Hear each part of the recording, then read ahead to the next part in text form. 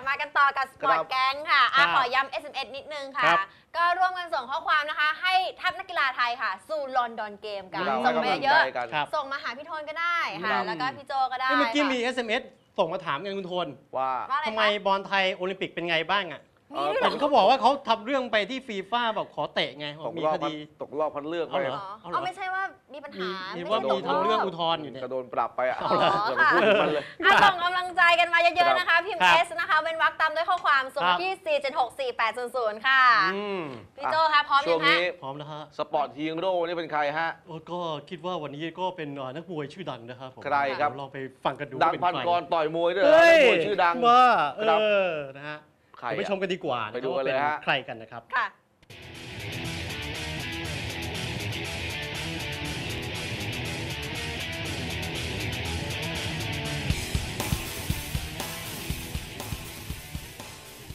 ฮูลิโอซีซ่าชาเวสฮูลิโอซีซ่าชาเวสเกิดเมื่อวันที่ 12 กรกฎาคม พุทธศักราช2505 ที่คูเลกันประเทศเม็กซิโก โดยชาเวสเริ่มชกมวยสากลอาชีพครั้งแรกเมื่อปี 2523 ชนะรวดถึง 43 ครั้ง ก่อนที่จะได้ชิงแชมป์โลกในรุ่นแรกคือรุ่น super featherweight ของสภามวยโลก WBC และป้องกันแชมป์ได้ 9 ครั้ง จากนั้นชาเวส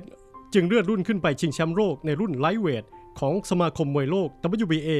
กับเอ็ดวินโรซาริโอนักมวยชาวเปอร์โตริโก เมื่อปี 2530 ซึ่งชาเวสสามารถชนะน็อกโรซาริโอไปได้อย่างสวยงามในยกที่ 11 จากนั้นจึงเดิมพันตำแหน่งแชมป์ในรุ่นนี้กับแชมป์ของสภามวยโลก WBC กับโฮเซ่หลุยส์รามิเรส นักมวยชาวเม็กซิกันด้วยกัน ในปีพุทธศักราช2531 ที่ลาสเวกัส ผลการชกทั้งคู่เกิดอุบัติเหตุหัวชนกันไม่สามารถชกต่อได้ จึงรวมคะแนนให้ชาเวสชนะไป หลังจากครั้งนั้นแล้ว ชาเวสได้สละตำแหน่งขึ้นไปชิงแชมป์โลกในรุ่น super lightweight สภามวยโลก WBC กับโรเจอร์เมย์เวทเธอร์ นักมวยชาวอเมริกัน ในปี 2532 ซึ่งชาเวสก็สามารถชนะน็อกเมย์เวทเธอร์ไปได้ในยกที่ 10 คว้าแชมป์โลกในรุ่นที่สามมาครองได้สำเร็จ ชาเวสป้องกันตำแหน่งแชมป์รุ่นนี้ไว้ได้อีก 11 ครั้งด้วยกัน และรวบรวมแชมป์ของสหพันธ์มวยนานาชาติ IBF มาครองได้อีกตำแหน่งหนึ่ง เมื่อชนะน็อกเมลดริกเทย์เลอร์นักมวยชาวอเมริกันได้ในยกที่ 12 และก็สละตำแหน่งแชมป์ IBF ไป หลังจากป้องกันตำแหน่งแชมป์นี้ไว้ได้ 2 ครั้งหลังจากนั้นชาเวสเลื่อนขึ้นไปชกอีกรุ่นหนึ่ง คือชิงแชมป์ในรุ่น welterweight ของสภามวยโลก WBC โดยไม่ได้สละแชมป์รุ่น lightweight กับเพอร์เนลวิทเทเกอร์นักมวยชาวอเมริกันในปี 2536 ชาเวสแพ้ครั้งแรกยังไม่มีใครคาดคิดในปี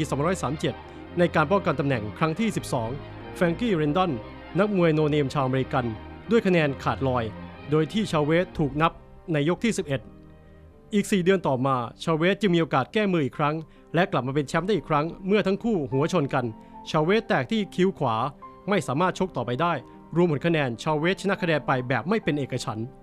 ก่อนจะเปิดศึกกับยอดมวยรุ่นน้องที่แรงขึ้นมาอย่างออสการ์เดลาฮุยาในปี 2539 และเดลาฮุยาก็เป็นฝ่ายชนะน็อกไปในยกที่ 4 เท่านั้น เมื่อชาเวสเกิดแผลแตกฉกรรจ์ไม่สามารถชกต่อไปได้ ต่อมาในปี 2541 เมื่อเดลาฮุยาสละแชมป์ไป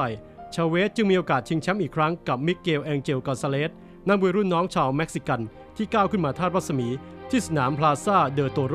สนามสู้วัวกระทิงที่ยิ่งใหญ่ที่สุดในโลกในกรุงเม็กซิโกซิตี้ ผลการชกทั้งคู่เสมอกันไปแบบที่ชาเวสน่าจะชนะคะแนนมากกว่า ชาเวสยังคงชกต่อไป และมีโอกาสพบกับออสการ์เดลาฮุยาอีกครั้ง ในกลางปีผลการชกออกมาแบบเดิมคือชาเวสแตกเป็นแผลฉกรรจ์ ไม่สามารถชกต่อไปได้ จากนั้นชาเวสก็ยังคงชกต่อไป โดยหวังจะกลับมาเป็นแชมป์โลกในรุ่น super lightweight นี้ได้ แต่ไม่ประสบความสำเร็จเมื่อเป็นฝ่ายแพ้น็อกไปในยกที่ 6 ต่อคอสตยาซู นักมวยชาวรัสเซีย แชมป์โลกคนใหม่ในปี 2543 จากนั้นจึงชกต่อไปอีก 3-4 ครั้ง และก็ได้ประกาศแขวนนวมไปในที่สุดฮูลิโอซีซ่าชาเวสจัดว่าเป็นยอดนักมวยโลกคนหนึ่ง มีสถิติการชกที่น่าทึ่ง มีหมัดตัดลำตัวที่หนักหน่วง รุนแรง ชาเวสเป็นขวัญใจชาวเม็กซิกันทั้งประเทศ จึงอาจเรียกได้ว่าเป็นตำนานมวยที่ยังมีลมหายใจอยู่ แฟนมวยชาวไทยให้ฉายาว่าเพชฌฆาตหน้าหยก เนื่องจากเป็นนักมวยที่มีหน้าตาดีคนหนึ่ง ปัจจุบันชาเวสมีลูกชายคนหนึ่ง ที่ชกมวยตามแบบพ่อ ก็คือฮูลิโอซีซ่าชาเวสจูเนียร์ซึ่งในขณะนี้ก็ยังไม่เคยแพ้ใครแม้แต่คนเดียว เช่นกัน และนี่คือ Sport Hero ของเราฮูลิโอซีซ่าชาเวส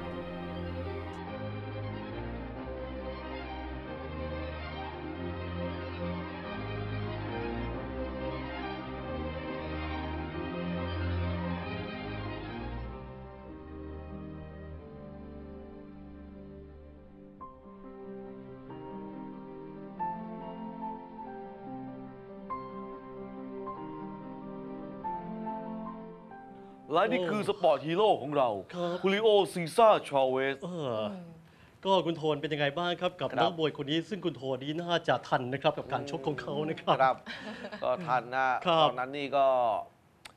เป็นยังไงล่ะ เป็นยอดมวยเม็กซิโกในอืมรุ่นจริง ๆ เขาก็รุ่นพวกเขาทรายอะฮูลิโอใช่ซีซ่าชาเวสเนี่ยอืม ถ้าเปรียบยุคก็เอ๊ะถ้าถ้าจะจะงงว่าเทียบกับนักมวยไทยยุคไหนดี อืมค่ะ ก็ยุคเขาทรายนี่แหละครับ ใช่ โอ้โห ก็จะพูดไปเป็นเป็น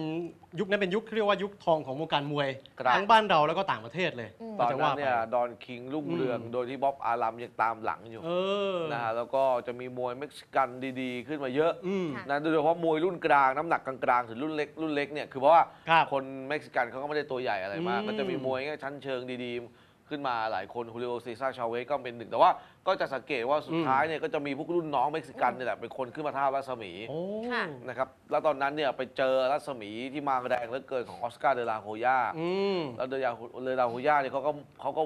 เล็งที่จะปั้นกันอยู่แล้วอะอืมค่ะหลังๆเนี่ยชาเวสก็เลยเข็นตัวเองไม่ค่อยขึ้นนะอ่าก่อนจะเลิกต่อยไปเพราะว่าแบบมันมันเข็นไม่ขึ้นละมันครับ แบบว่าเอ่อมันขายไม่ได้ละอืม ก็เลิกไปแต่ว่าก็ยังมีทายาทอืม ขึ้นมาตอนนี้ลูกก็ต่อยอยู่ในผมไม่แน่ใจว่าในครับ เครือของบ๊อบอารัมหรือเปล่านะค่ะ นะลูกของเขาอะซูริโอซีซ่าชาเวสจูผมเนียว่าร์ ลูกแกนี่ถ้าเกิดเอาดีทางด้านอ่าต่อยมวยไปได้มันเล่นตลกได้นะทำไม เพราะว่าอยู่กับทำไมคะบ๊อบอารามบอยอะฮะโอ้อ้าวเหรอฮะไม่ใช่เหรอฮะ บ๊อบอารัมพ่ออ๋อเหรอฮะผมนึกว่าอยู่ค่ายเดียวกันผมไม่แน่ใจอยู่กันผมก็เพิ่งดูลูกแกชกไม่อ๋อเหรนาอนฮะ แล้วก็สถิติของลูกเขายังไม่แพ้ใครวันแต่นี้ว่าสาระต่อยอีกอ้แต่ว่าครับ ส่วนใหญ่อะครัเขาบบอกกันว่าลูกของชาเวสอะไอที่เออยังไม่แพ้ใครเพราะอะไรรู้ไหมฮะ เพราะอะไรคะ มันยังไม่เอาตัวเก่งๆมาให้ต่อย อ๋อ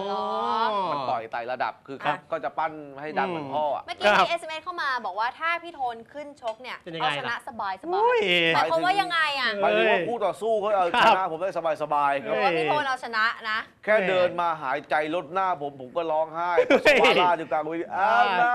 เอ้ย ค่ะบ้า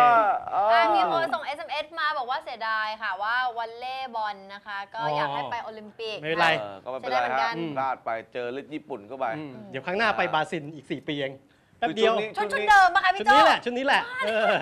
ชุดนี้ก็ยังไหวไหวนะหลายคนยังเล่นกันต่อได้สามสิบแล้วมั้งตอนนั้นอะครับโอ้ยังไหวนะคอะรับอะเดี๋ยวเราต้องไปพักกันสักครู่แล้วล่ะ ครับ ค่ะ นะครับผมฮะพักแป๊บเดียวครับ